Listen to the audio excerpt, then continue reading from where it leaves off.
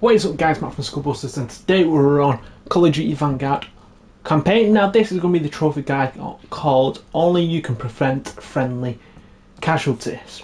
So this is on mission 2, Operation Tonga and you need to look for this.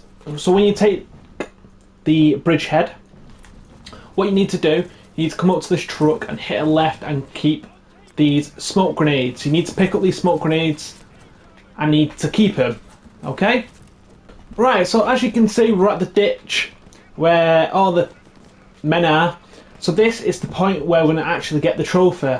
So we tell everyone to attack.